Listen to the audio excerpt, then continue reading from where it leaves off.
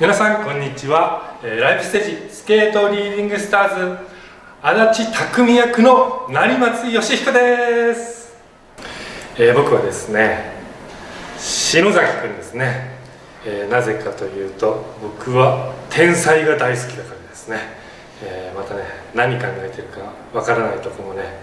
えーすごくこの興味深いとこもありましてどういう風に演じるのか楽しみです。3つのポジションがある。えーっとリードウイングガードですよね、えーまず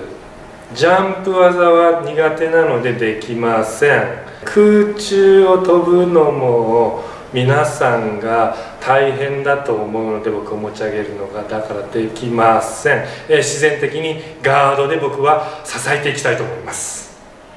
はい、えーまあ、今回このスケートがね軸の物語となっていますけどもその中でまあライバルだったり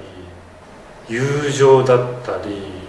個々の成長だったりいろいろなものがこう詰め込まれた青春物語なのかなとも思っていますのでそういうところも全部含めてかつスケートの美しさも見ていただけたらとてもあの満足のできるすごい壮大な物語になっているのではないかなと思いますので、えー楽しみにしておいてください。ありがとうございました。